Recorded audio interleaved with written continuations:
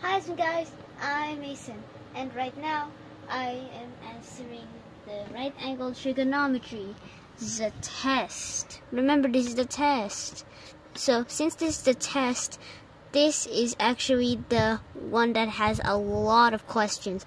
It has 16 in total, 1 out of 16. So, okay. which is the adjacent side to the angle theta? This is the opposite, this is the hypotenuse, and this is the adjacent in case you haven't learned back. You can skip, you can go back to my video a few months ago where I explained about this one. Awesome. Yay. So, what is the opposite side of the angle theta? It's AB because this is the opposite side clearly. This is the this is the hypotenuse also clearly, and this is the adjacent So this side is length of one side length of uh, one side length of 1.4142 sing u. So let's submit. Yay! So yeah, you can be that. Okay, so now use the sine ratio to find the unknown side side length. So we need to find Euler's number but it's not actually a number, it's just e as a variable, but it is confusing, of course. So, to find the unknown side length, the, you, you need to know what side you want. So this is the hypotenuse, this is the opposite. So the opposite and hypotenuse is this one. As you learned from your SOHCAHTOA, opposite and hypotenuse is sine, and sine of 51 degrees times, so look see you find right now that the is the hypotenuse that's the one okay. and what happens is that since there's the hypotenuse that's being shown what over that so in order to find that what you need to find out is what is that over here so what you need to do is times by the lengths you know, then you get 5.44 units. Exactly, sorta, but not exactly actually. So, three, two, one. Yay! did it. Uh, so, use the ratio the unknown side lengths. So, the unknown side length right now is c, and speed of light. But not actually speed of light. So, what happens is that, as you can see here, you see that you need to find the hypotenuse and you have the uh, you have the opposite here so the opposite and hypotenuse is another sine ratio and since you know what's on that hypotenuse what you need to do is you need to put the sine of 53 degrees in and what happens is instead you times instead this one is Instead, 1 over this answer times, yeah, 1 over that answer is equal to that answer. So, 5.01 units. 3, 2, 1. I did it! So, we cannot see the now calculator. we can use the cosine ratio to find the unknown sine lengths this time. This time they showed because, well, the cosine ratio is just adjacent the cosine ratio is adjacent and wait, the cosine ratio is adjacent and hypotenuse. This is the adjacent and this is hypotenuse. So in order to do this, you need to find the hypotenuse. So 15, the cosine of 59 degrees is equal to 0.51 cm. And since we know that we need to find the hypotenuse, we just put if we just times it by the answer. So as you can see, if you if you put 1 over the answer times it by 4, then you would get the answer. So it's 7.77 units, which is the answer for the problem. Wow, you got me. Awesome. Yes. So, uh, use the cosine ratio to find the unknown side lengths again. Uh, another cosine ratio, because it looks like something is actually taking place. So, cosine of 41 degrees is equal to 0.75 cm. And what happens is that you need to find the unknown side lengths. And what happens is that 1 over the answer times 2, which is that thing, is 2.65. And 2.65 units is the answer. So, 3, 2, boom. Awesome, baby. Nice. So, let's... Okay, use the tangent ratio by the the tangent ratio is for only opposite and adjacent. So this is the opposite and this is the adjacent. So in order to find it, you need to get the tangent of 50 degrees, and it's equal to 1.19. Uh, remember about Psalm 119 if you want to see. Oh, yeah. Yeah, Psalm 119 is the longest longest chapter in the Bible. So, uh, ti- oh yes, there's a cross right here. Yeah. Yeah, look at this. That's a nice cross I made myself. Yeah, Uh, made yes, made out of plastic thingies. So Okay, good so, uh, there- Oh yes, I forgot what I was doing for a second. Okay, so if you type, if you div- if you put one, uh, no, one over answer, and then you get this times four, which is equal to the d, and the d is three point three six units. And what happens is that is the answer for today's question Correct. Yay. The, the perfect number question. Yeah, can, Use the can I second the to other find the numbers? answer. Can you, can you scroll back that? Hmm, how come we cannot see the 1 to 7? Oh, it's because I forgot that I'm So use the tangent to find the other side. So the tangent of uh, the tangent of the what is that? Forty degrees. The tangent of the forty degrees is equal to zero point eight zero, and one over the answer is equal to this one point nineteen. If you times it by one, it's just the same. So it's one point nineteen. Remember, it's all one hundred nineteen. awesome. If You want to remember that the longest verse in the Bible has one hundred nineteen verses. The longest chapter has in the Bible has one hundred nineteen verses, and it's very long. It has the whole better. alph- it holds it has the whole alpha beta gimel dalet in that one. So find the unknown side. So in order to find the unknown side you need to use a formula. So since there is no adjacent i mean there's no opposite that means it's adjacent and hypotenuse which is the cosine. And the cosine formula is used to find the 47 degree thingy. So let's do this 0.60 thingy and then what happens is if you see this 1 over the answer times 3 is equal to 4.3 4.4 thingy so it's 4.4 units. So 3 so boom. Yay, okay find the unknown side again. So since we need to multiply by 3 again so this is another cosine because you can see that the adjacent is not here I mean, you see the opposite is not here. So the cosine of that 54 degrees is equal to 0.58, 1 over the answer. You're so amazing. And the mm-hmm. time, oh yes, 1 over the answer is, wait, oh, wait, did I do it wrong? I know, you double check Oh wait, it's the cosine of 54 degrees. There's check. nothing wrong with it. Oh, times 3 immediately. This is a different problem. I forgot what I'm doing. So it's 1.763. 1.763 is equal to 1.763. So you round it off and then after that, Okay. boom, you Ah, did it. And then after that, you get to the next. Yay! Now this is what's called a test. Uh, yeah, the test. 11 out of 16. So, that's how it makes it. It's more, it's more than 10 questions. Find the unknown angle. So, theta is nowhere here. So, in order to find theta, you need to find the how to get theta. So, how to get theta. Oh, it looks like a mouse from if you look in a different way. Sorry. What is the But what Is happens is the missing is the theta, the angle. Oh. So what happens is that you can also find this side if you want to, but right now we're looking for theta. You So remember the formula? what you need to do is you need to do the inverse of these ones. So what you need to do is you need to inverse stuff. Just try and So- What happens is that you can see that the formula that uses this, there is no opposite. So it's cosine. Again, opposite. I mean, no, the cosine is the adjacent over the hypotenuse. So 15 over 25 and 15 over 25. Well, you don't get the degrees. You know why you don't get the degrees? It's because this is about the finding the angle this time. So, in order to find the exact degrees of the angle, you need to find a stuff.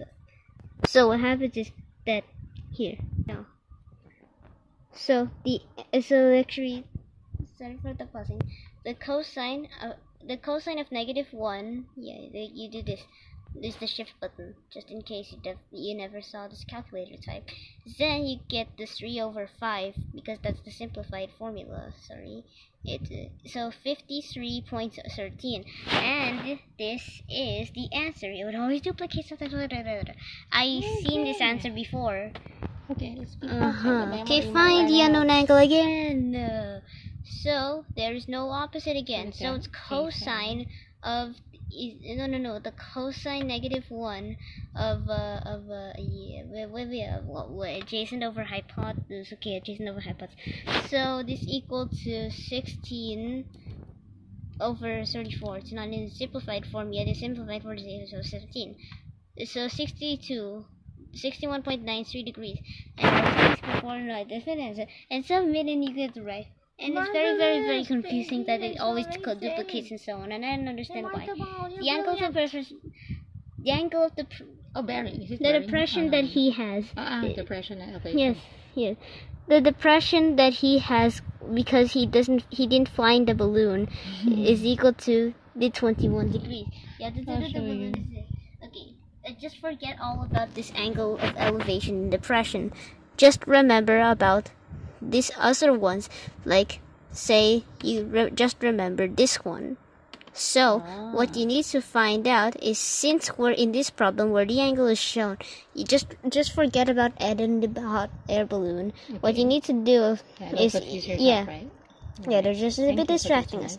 So you find the opposite and adjacent. If the only one was opposite and adjacent, and no hypotenuse is tangent. The tangent of 21 degrees is equal to 0.383. What And what happens is that it says that what is the horizontal distance between the two.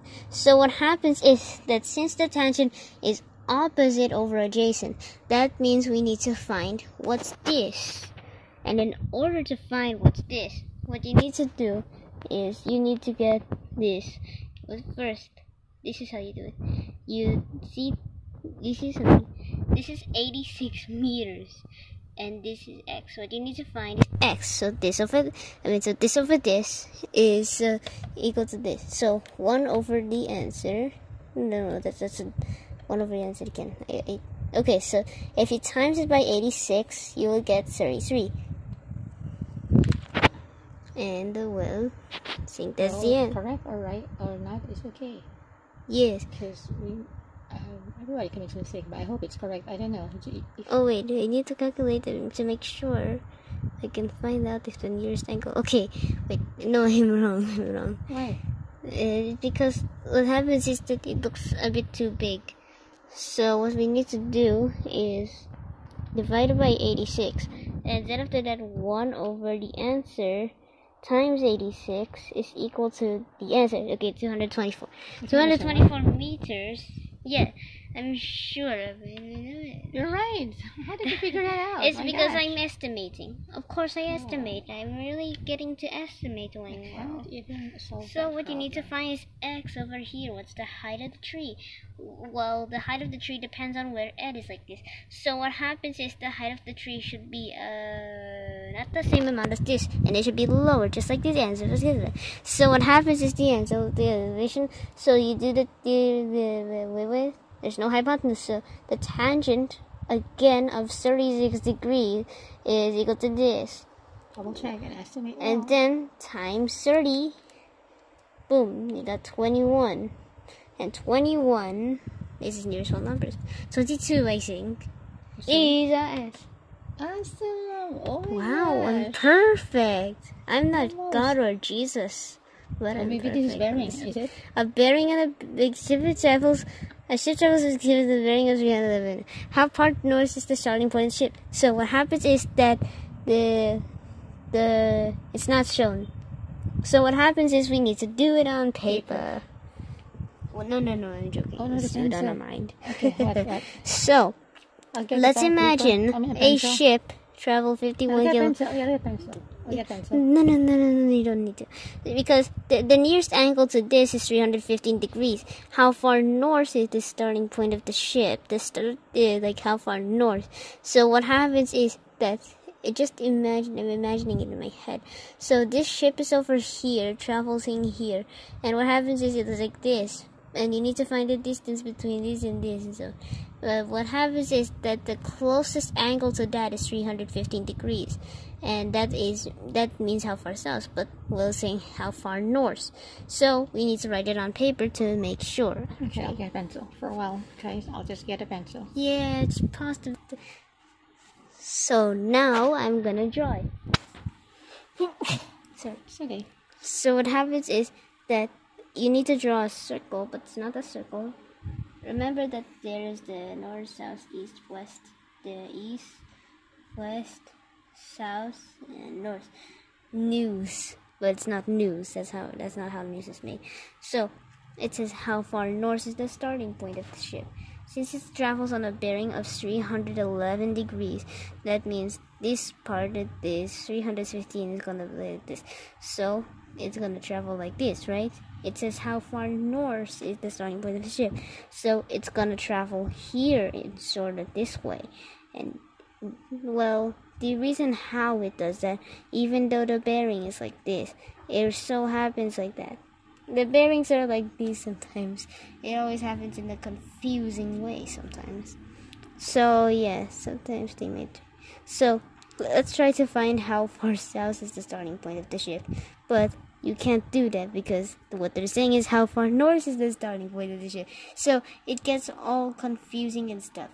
So let's just imagine let's just imagine because this is like so so small degrees it's equal to the let's just guess that it's just like this so since it's equal to 4 degrees because well it, it, it looks like 4 degrees and the the 4 degree thingy yeah the 4 degrees sure so uh wait uh if Please, please. So, uh, this is equal to this triangle. So, this triangle, but this side is not included. So, what happens is that what we need to find is this. What we need to find is the angle and the thingy. So, how far north is the starting point of the ship? So, since we could see that we're only dealing without the opposite, we would use the cosine again. So, the cosine of 4 degrees is equal to this, and well, it travels 51 kilometers on a bearing of 311 degrees. But all the answers are different. But I've noticed that every time I answer, it's always something like this. You remember your bearing mm, test? Yeah, but I'm sorry Did you guessing. compute? Did you not compute? I didn't compute very much, but I think this is the answer. You're right. No way! I knew that my answer was correct because it always looks like this, like maybe this one or mm. something. Okay. So let's do this. Submit. Amazing. I knew it! Oh, 16 that's out of already 16! I beat my Oh. high score! Yay! Ah, At so least I didn't commit a mistake. Yeah, Because even if I guessed on all the bearings, it's very good. I've noticed that mathematics always tricks me sometimes. You can analyze So that they trick me into calculating everything when they just put the answers on me. Just they can't even notice. Okay. So, well, yeah, it's very awesome. Bye, guys. Have fun. Even sometimes math is fun. Also, remember that, well, sometimes mathematics tricks us with different types of questions, like that bearings one. So, yeah, it's always the lowest number. Show us your shirt. Oh, yeah. It's this, this my shirt. See? So, Says Chris New, seat work lang namin. yeah, and from Philippines. Yeah. And I, I'm sure you might know what that means. Yeah. So, also, remember to subscribe to my channel, 8than Christoffe. Also, accept Jesus as your Lord and Savior and lead it united in the cross. Bye, guys. Yay.